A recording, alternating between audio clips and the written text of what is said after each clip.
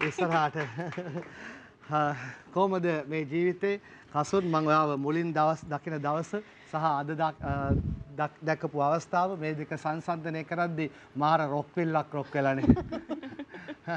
ඔයා එක් රොක් වෙලා.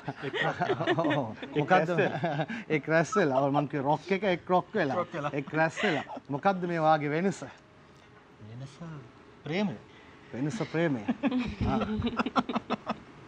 ඔබේ වෙනස මගේ වෙනස මොකක්ද ඉතින් මං හිටියා වගේ ඉන්න ඕනේ. දෙන්නගේ හමුවීම සහ මේ ප්‍රේම සම්බන්ධයට දැන් කොච්චර කාලයක්ද මාදවි අපිට කියන්න ප්‍රේක්ෂකයන් දැනුවත් වෙන්න? අපි දෙන්න හඳුනගෙන නම් බොහොම කාලයක් වෙනවා. අවුරුදු ගාණක්.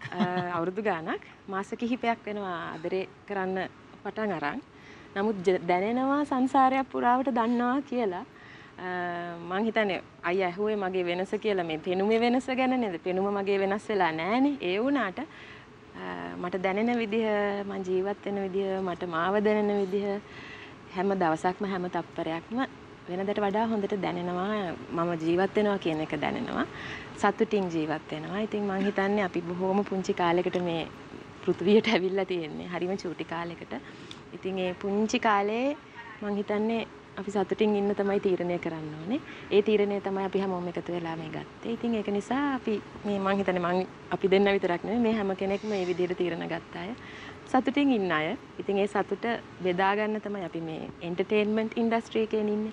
එතකොට අපි අපිට ආදරය කරන ප්‍රේක්ෂකයන් එක්ක අපේ අත්දැකීම් බෙදා හදා ගන්න එක ඒක එහෙම හොඳයි අපි සුහදයි සහෘද වෙන්න ඕන නිසා. මාස කිහිපයක් ගත වෙලා ගිහිල්ලා තියෙනවා කියලා නෝයා කියන්නේ මේ ළඟපාතනේ හරියටම මාස කීයද කියලා කියන්නකෝ.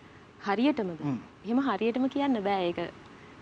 ගලාගෙන ආපු දෙයක්. ගඟක හරියට නිකන් හිතුවොත් එහෙම ගඟේ මෝයද මේ නැත්තම් ගඟ මැදද උල්පතද කියලා ගන්න හොඳ නෑ. ගඟක් විදිහට තමයි ගඟ ගන්න ඕනේ. ඒ විදිහට අපි දෙන්නව ගන්න ඕනේ අපි විදිහට. ඒ අපි දෙන්න පටන් ගත්තේ කවද්ද ඉවර වෙන්නේ කවද්ද කියලා හිත හිත ඉන්න අයට නම් කවදාවත් ඒ සැනසීමක් හම්බෙන්නේ නෑ. හැබැයි අපි සැනසීමෙන් ඉන්නවා. මොකද අපිට ඒ ඒවා වැඩක් නෑ. අපි අපි අද දවස මේ මොහොත සතුටින් ආදරේ. ලස්සනට එකක් පොඩියට දුන්නද මන්දා?